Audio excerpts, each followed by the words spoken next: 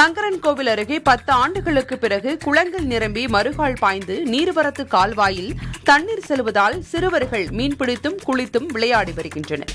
தென்காசி மாவட்டம் சங்கரன் கோவிலில் தொடர்ந்து பெய்து வரும் மழையின் காரணமாக குளங்கள் நிரம்பி மறுகால் பாய்கிறது.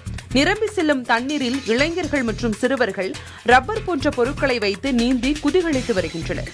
இருப்பினும் முறையான பாதுகாப்பு இல்லாமல் இதுபோன்ற சாகசங்களில் சிறுவர்கள் ஈடுபடுவது தவறு என போலீசார் எச்சரிக்கை விடுத்துள்ளனர். மேலும் பல ஆண்டுகளுக்கு பிறகு சங்கரன் கோவிலின் வடபகுதியில் குளங்கள் நிரம்பி மறுகால் செல்வதால் விவசாயிகள் மகிழ்ச்சி அடைந்துள்ளனர்